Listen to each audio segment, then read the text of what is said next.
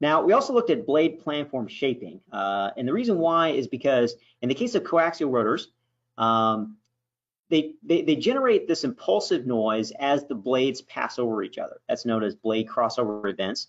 So in the case of straight blades, you get this instantaneous blade overlap, which results in pretty strong acoustic effects.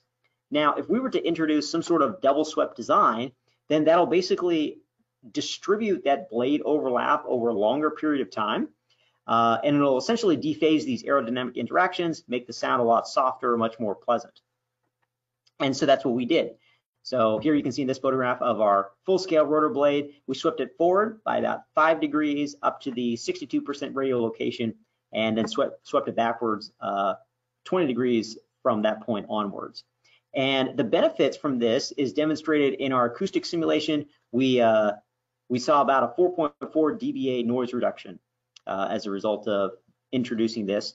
And so what I want to do is I want to share with you uh, some clips uh, demonstrating the straight versus the double swept design.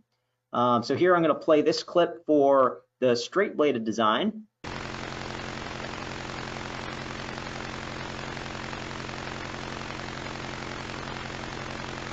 Then here's the double swept design.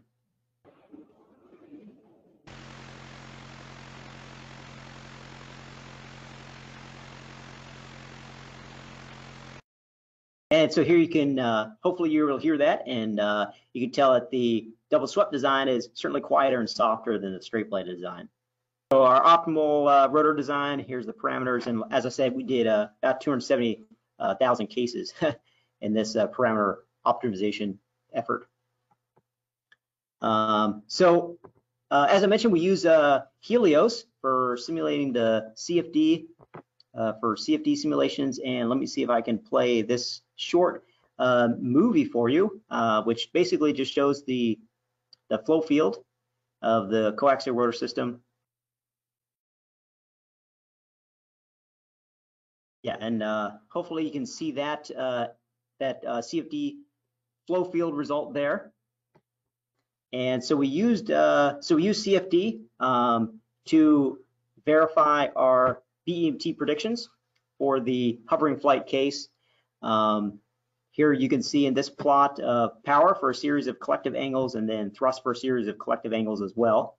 Um, and uh, you can see that we get pretty good agreement between the two within about 15% of each other. So we were pretty happy with that result.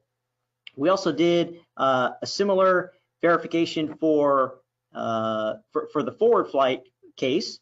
And so here's uh, a short video showing the flow field structures in the forward flight case. And here you can see some of the vortices shed from the uh, coaxial rotor system as well as the, the body itself. And so then we use those results um, to verify our BEMT for the forward flight case. And that's demonstrated here in power versus forward speed for the BEMT results and then the uh, discrete points for the, with the CFD. And uh, we even got better agreement here within about 10% of each other. Um, so we were pretty happy with that.